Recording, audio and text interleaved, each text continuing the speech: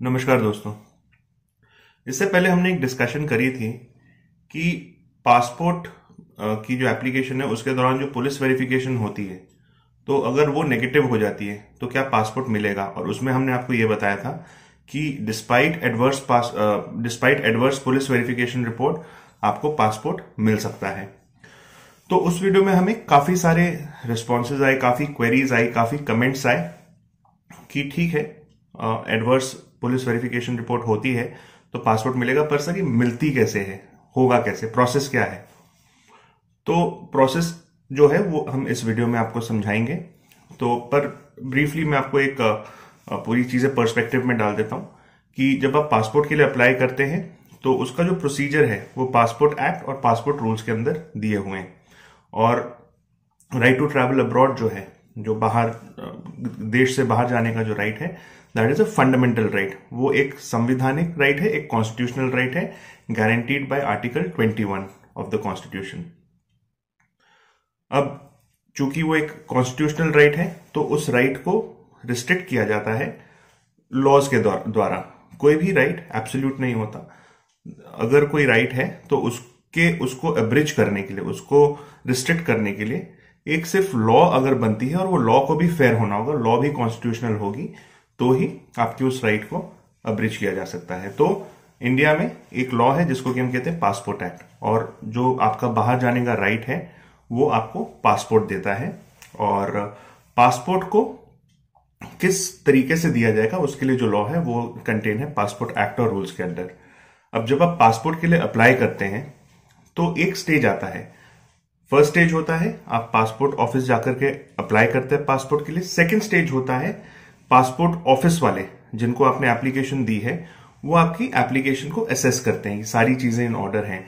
आपने जो अपना रेसिडेंशियल एड्रेस बताया है परमानेंट और प्रेजेंट रेसिडेंशियल एड्रेस बताया है, उसके साथ के आपने डॉक्यूमेंट्स लगाए हैं कि नहीं? उसके बाद जो थर्ड स्टेज होता है, वो होता है पुलिस वेरिफिकेशन का। जो पुलिस वेरिफिकेशन का स्टेज है that is limited only to assess कि आप इंडियन सिटीजन हैं या नहीं, और सेकेंडली आपके खिलाफ कोई क्रिमिनल केस पेंडिंग है या नहीं। और फोर्थ स्टेज होता है आपको पासपोर्ट जो मिलता है। तो there are four stages broadly four stages एक पासपोर्ट एप्लीकेशन में। नंबर वन जो आप अप्लाई करते हैं नंबर टू पासपोर्ट ऑफ़िस उसे जो वेरीफाई करता है, जो कि पासपोर्ट सेवा केंद्र में होता है। Third police verification and fourth जो आपको पासपोर्ट मिल जाता है। अब सबसे ज़्यादा जो प्रॉब्लम होती है, जो मैंने अपने पर्सनल एक्सपीरियंस से देखा है, वो होती है पुलिस वेरिफिकेशन के स्टेज पे। अब पासपोर्ट लॉ जो है, पासपोर्ट एक्ट जो है, उसमें एक ब्रीफली मतलब पुलिस वेरिफिकेशन कहीं ऐसे मेंशन नहीं किया बट ब्रीफली कहा हुआ है कि पासपोर्ट ऑफिसर जो है, वो अपने आप को सेटिस्फाई करने के लिए कि आपकी सारी पर्टिकुलर्स क्लियर हैं या नहीं, उसके लिए एक वेरिफिकेशन या इंक्वायरी ऑर्डर कर सकता है। तो उस तहत ये पुलिस वेरिफिकेशन होती है। और पुलिस वेरिफिकेशन की, जैसे हमने अपने पिछले वीडियो में बताया है, पुलिस वेरिफिकेशन की जो जो रेफरेंस पॉइंट्स हैं मतलब जिन बिंदुओं पे, जिन पॉइंट्स पे पुलिस वेरिफिकेशन कर सकती है, वो सिर्फ़ दो हैं। Whether the applicant is a citizen of India और not and number two whether the applicant has any criminal records और नॉट अब आइडियली यही दो चीज़ों पे पुलिस को करना चाहिए। बट अक्सर मतलब मैंने जितने केसेस देखे उसमें एटलीस्ट 90 परसेंट केसेस में पुलिस एडवर्स रिपोर्ट इसलिए देती है क्योंकि वो ये रीजन देते हैं कि एप्लीकेंट अपने प्रेजेंट एड्रेस पे नहीं रहता या परमानेंट एड्रेस पे नहीं रहता या एप्लीकेंट का एड्रेस गलत दिया हुआ है। और पासपोर्ट ऑफ़िस भी इस चीज़ को आ, पुलिस की जो है उसे ओवरटर्न नहीं करती क्योंकि जो एप्लीकेंट है उसे इस चीज़ के बारे पता ही नहीं है वो इन चीज़ों को चैलेंज ही नहीं करते। तो the long and short of it is जो पुलिस वेरिफिकेशन वाला जो स्टेज है वहाँ पर मेन एप्लीकेशन सबकी जाके अटक जाती है। और जिस तरीके से अटकती है, वो generally it is not the correct procedure जिस तरीके से वो अटकती है। तो अब उससे बाहर कैसे निकला जाए? अब पुलिस वेरिफिकेशन अगर अटक गई है तो इसका मतलब ये नहीं कि आपका पासपोर्ट एप्लीकेशन रिजेक्ट हो जाएगा। उसके लिए आपको कुछ स्टेप्स लेने होंगे, जो हम इस वीडियो में बताएँगे। जो स्टेप्स अगर आप लेते हैं तो आपको पासपोर्ट मिलेगा ही मिलेगा because getting a passport is your fundamental right वो कोई अथॉरिटी आपको नहीं देती, वो कोई आला अफसर आपको नहीं देता, वो कॉन्स्टिट्यूशन आपको देता है, वो राइट तो समझ लेते हैं, अब वो कैसे होता है। अब जब पुलिस अगर पुलिस को फ़र्स्ट ऑफ़ ऑल तो आपके एड्रेस पे वेरिफिकेशन करने की अथॉरिटी नहीं है, वो सिर्फ़ चेक कर सकते हैं कि आप रेसिडेंट है इंडिया इंडिया के सिटीजन है या नहीं एंड सेकेंडली आपके अगेंस्ट कोई क्रिमिनल केस है या नहीं। पर अगर, मान लीजिए पासपोर्ट ऑफिसर स्पेसिफिकली पुलिस को रिक्वेस्ट करता है, आपके डॉक्यूमेंट्स देख के, कि उसे डाउट लगता है कि आप अपने प्रेजेंट एड्रेस पे रहते या नहीं तो पुलिस को वो स्पेसिफिकली वो चीज़ लिखकर दे सकता है। तो मान लीजिए पासपोर्ट ऑफिसर ने पुलिस को रेसिडेंशियल एड्रेस को वेरीफाई करने की अथॉरिटी दी है या उसको रिक्वेस्ट किया है पुलिस को तो फिर पुलिस अगर आपके एड्रेस पे आती है वेरीफाई करने के लिए तो ऐसी कई जजमेंट्स हैं, बहुत सारे हाई कोर्ट्स की, सुप्रीम कोर्ट की अभी तक, फ़िलहाल इस पर कोई जजमेंट मैंने नहीं देखी बट हाई कोर्ट की काफ़ी जजमेंट है अलग अलग कि पुलिस अगर एडवर्स करती है रिपोर्ट तो पुलिस को साथ एक डॉक्यूमेंट भी लगाना होगा ये दिखाने के लिए कि पुलिस एप्लीकेंट के एड्रेस पे गई थी। जाकर के उन्होंने वहाँ पर ढूंढा एप्लीकेंट को और एप्लीकेंट उस एड्रेस पे नहीं मिला। अक्सर ऐसा होता है कि पुलिस आ जाती है और मैं माफ़ी चाहूँगा अगर ये कहता हूँ तो पर मेरे को कई लोगों ने इस चीज़ के बारे अप्रोच किया है, कई चीज़, कई लोगों ने मेरे को इस बारे अपनी जो नाइटमेयर है, एक पुलिस वेरिफिकेशन का वो शेयर किया है, और ये होता है कि अक्सर उनसे पैसे मांगे जाते हैं। मैं ये नहीं कहता हूँ सब मांगते हैं, पर अक्सर ऐसा एक्सपीरियंस देखा गया है लोगों का, जहाँ पर कि उनसे पैसे मांगे जाते हैं पुलिस वेरिफिकेशन को क्लियर करने के लिए। पर यह चीज़ हट सकती है अगर आपको इस प्रोसीजर का पता हो तो। तो पुलिस अगर वेरीफाई करने आती है तो पुलिस अगर नेगेटिव करती है या एडवर्स करती है तो पुलिस को कुछ दिखाना होगा कि वो एक्चुअल में वहाँ वेरीफाई करने गए थे या नहीं। और मान लीजिए पुलिस ने आपकी वेरिफिकेशन जो है एडवर्स कर दी है विदाउट एनी रीजन किसी कारण के बिना उन्होंने एडवर्स कर दी है तो आप ये दो तीन चीज़ें कर सकते हैं जिससे कि आपको पासपोर्ट मिलेगा। नंबर वन आप जो आरपीओ है रीजनल पासपोर्ट ऑफ़िस है, उसके जो हेड है, उन्हें लिखिए लेटर कि आपने इस डेट को अप्लाई किया था। इस डेट को आपका वेरिफिकेशन के लिए आए थे आपके घर या पुलिस ने आपको कॉल किया था या नहीं किया था? फिर उसके बाद जो भी डॉक्यूमेंट्स उन्होंने मांगे थे, वो आपने दिए थे उनको। वेरिफिकेशन का प्रोसीजर पूरा ठीक से कंप्लीट हुआ है और उसके बावजूद आपका जो पुलिस वेरिफिकेशन रिपोर्ट है, उसे एडवर्स दिखाया है पुलिस ने। ये आप एक लेटर आरपीओ को लिखें। अगर मान लीजिए, आरपीओ को लेटर आपने लिखा, हफ़्ता, दो हफ़्ता हो गए, उन्होंने रिस्पॉन्ड नहीं किया तो आप चीफ पासपोर्ट ऑफिसर को लेटर लिखें, क्योंकि उनके ऊपर जो अथॉरिटी है, उनको एक लेटर लिखे एस्केलेट करें कंप्लेंट को।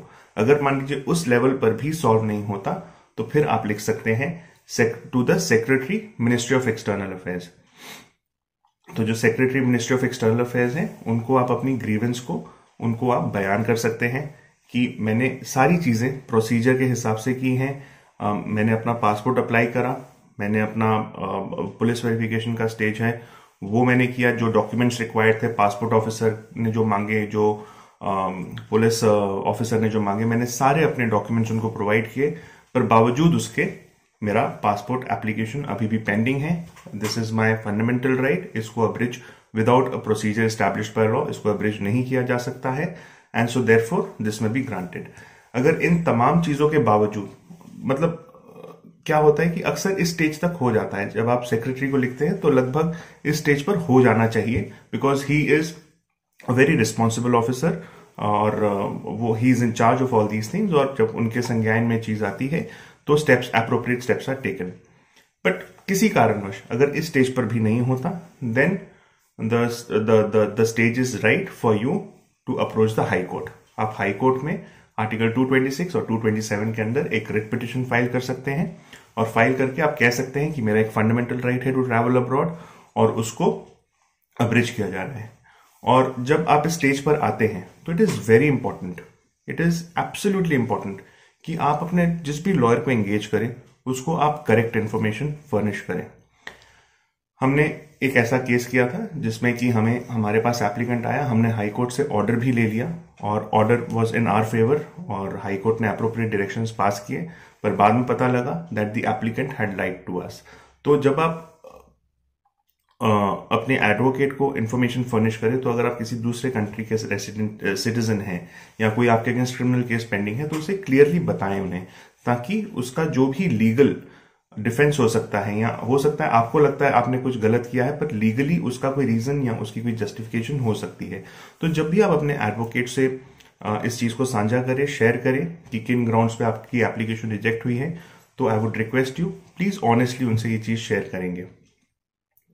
तो that is about it I think हमने जो भी इसके पहलू थे, उसको कवर किया एंड आई होप कि आपको इससे एक बेटर अंडरस्टैंडिंग मिली है, पूरे पासपोर्ट प्रोसेस की, और जो भी उसमें अगर रिजेक्शन होती है या अगर उसको लटका दिया जाता है या किसी कारणवश उसको बस एक टाल मटोल करते हैं तो उसमें आपको क्या करना चाहिए और क्या स्टेजेस हैं उसमें और किस तरीके से आप आगे प्रोसीड कर सकते हैं।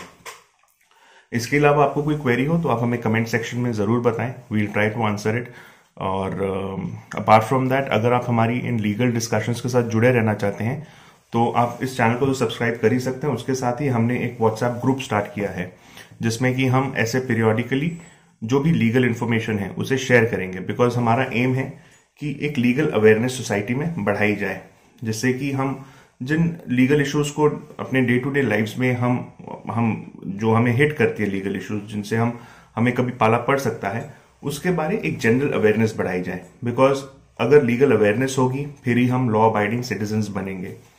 और एक अच्छी सिविलाइज सोसाइटी का हॉलमार्क है कि people are law abiding so the aim of aim videos is to educate every one to to make every one aware of their legal rights and their legal duties तो मैं आपको invite करूँगा। हमारा जो WhatsApp link है, वो हमारे group का, जो ये लीगल अवेयरनेस वाला जो ग्रुप है, उसका व्हाट्सएप लिंक हमने डिस्क्रिप्शन में दिया हुआ है। उसे क्लिक करें। अगर आप चाहते हैं, आप ऐसे डिस्कशंस के साथ जुड़े रहना चाहते हैं। So with that, I'll take your leave friends. Until next time, stay safe and goodbye.